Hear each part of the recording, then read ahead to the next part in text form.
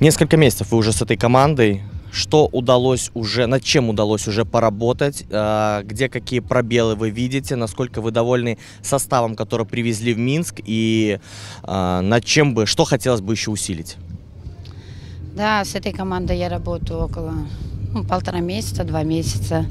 Эм, м, дев- Сыгранность, в первую очередь, сыгранность, конечно, еще не такая, потому что за два сбора, э, я думаю, невозможно это проработать. Также психологически, э, пропустив, э, значит, пенальти и со штрафного, девочки чуть-чуть не выдержали этого напора, этого давления и стали а, допускать много ошибок. И, значит, э, сосредоточение пошло не на игре, а именно на том, что совершили ошибку. Девочки боятся совершить ошибку. Поэтому чуть-чуть коман- команда подсела, хотя мы говорили, что садиться не надо, не автобус, давайте играть, давайте пробовать, на ошибках надо учиться. Но это чуть-чуть подростковый такой барьер пошел, поэтому так вот получилось. По антропометрии соперницы чуть побольше, повыше, наверное, в каждой линии. Учитывали ли вы это и что говорили девчонкам, потому что априори с первых минут им уже было тяжелее бороться с этими э, девчонками? Да, согласна. Ну, давайте начнем с того, что мы этнически все равно мель- мельче по габаритам, все. Поэтому мы э, дали такую задачу, что играть в одно-два касания, быстрее освобождаться от мяча, открываться, предлагать, не передерживать мяч, потому что, коне- коне- конечно, в единоборстве мы не осилили бы их.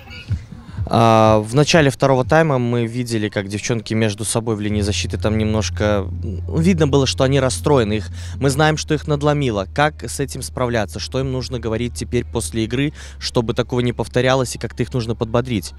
Конечно, в этом возрасте обязательно нужно подбадривать. Я всегда говорю э, своим подопечным, что эта игра осталась в истории. Мы ее уже не вернем, мы уже ее лучше не сделаем, поэтому надо думать о следующей игре. И э, методом кнута, я думаю, в этом возрасте э, работать не надо. То есть объяснять, говорить, э, приводить примеры.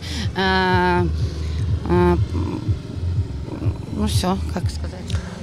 Таймы по 45 минут. До этого мы делали по 40, и, наверное, это было чуть лучше. Вот сейчас вы чувствуете, что девчонкам тяжелее еще эти лишние несколько минут?